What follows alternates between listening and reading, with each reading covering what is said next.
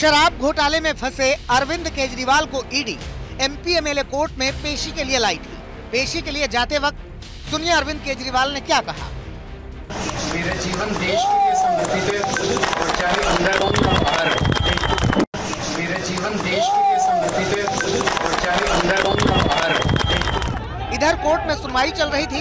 उधर दिल्ली की सड़कों पर आम आदमी पार्टी के कार्यकर्ताओं का हुजूम उमड़ा था। उनकी पुलिस से रस्साकसी चल रही थी। आम आदमी पार्टी के नेता सरकार पर भिन्न भिन्न तरह के आरोप लगा रहे थे और बीजेपी आम आदमी पार्टी पर हमला बोल रही थी। पूरी गुंडागर्दी है। अरविंद केजरीवाल जी के घर वालों को हाउस अरेस्ट किया हुआ है। अरविंद केजरीवाल जी की माता जी एक दिन पहले अस्पताल से आई हैं। बेटे को अरेस्ट कर लिया। घर वालों को किसी से मिलने नहीं दिया जा रहा। शांतिपूर्ण प्रोटेस्ट रोका जा रहा है। आईटीओ पे हम जा नहीं सकते। एक मिनट आईटीओ पे आते हुए हुआ और उठा के पुलिस वाले हमको फेंक रहे हैं। पूरी तानाशाही है। सिर्फ़ और सिर्फ़ लोकसभा चुनाव जीतने के लिए ये तानाशाही की जा रही है। अरविंद केजरीवाल इस पूरे के पूरे एक्साइज पॉलिसी में, शराब घोटाले में एक कॉन्स्पिरेटर है। वो सरगना है, वो षड्यंत्रकारी है, जो साउथ ग्रुप, जो कई कंपनियों का अमेलगमेशन है, ये जो साउथ ग्रुप के कविता की थी, किस प्रकार से बैकडोर लगभग 100 करोड़ रुपए उन्होंने अरविंद केजरीवाल और अरविंद केजरीवाल के मित्रों को दिया। आम आदमी पार्टी के नेता कह रहे थे कि सरकार ने तानाशाही की सारी सीमाएँ लांघ ली हैं और बीजेपी कह रही थी कि केजरीवाल का असली चेहरा सामने आ गया है।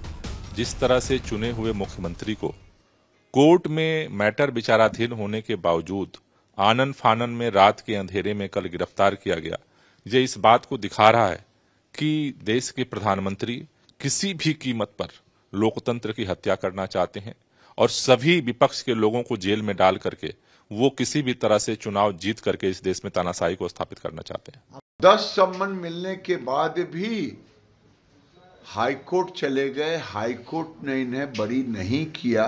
इससे साफ़ ज़ाहिर होता है कि इनके अब चेहरे बेनकाब होने लगे हैं। जो चेहरा ये अन्ना हजारे का नकाब पहन के अभी तक कोशिश कर रहे हैं उस चेहरे को बचाने का, अन्ना हजारे के आंदोलन का चेहरा आज केजरीवाल तार तार कर दिया है। आम आदमी पार्टी कह रही थी कि केजरीवाल को साजिश के तहत गिरफ़्तार किया गया है और बीजेपी चुटकी ले रही है। अरविंद केजरीवाल को गिरफ़्तार कर लिया गया।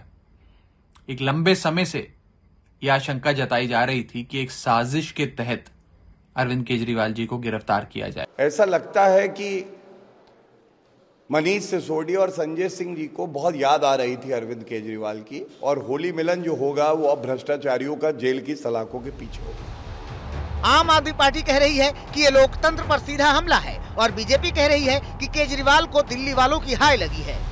आज मॉडल कोड ऑफ़ कंडक्ट लगने के बाद चुनाव की घोषणा के बाद एक राष्ट्रीय पार्टी के राष्ट्रीय अध्यक्ष को गिरफ़्तार कर लिया जाता है। ये सीधा सीधा लोकतंत्र पर हमला है एक लेवल प्लेइंग फ़ील्ड पर हमला है। अरविंद केजरीवाल जी ने दिल्ली के खजाने को लूटा है।